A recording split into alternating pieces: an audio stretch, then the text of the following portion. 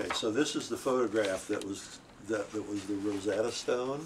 And you see that she's standing with her arm extended, and she's holding a can of Mobil lubricant.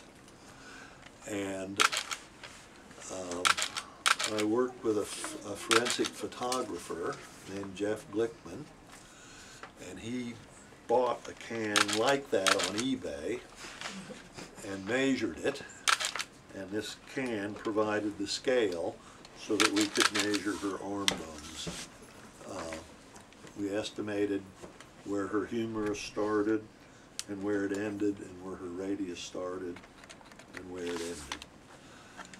So that gave us radius length and humerus length, and then uh, we also estimated her tibia length from the inseam measurement of her trousers, which are being held in Purdue University archives.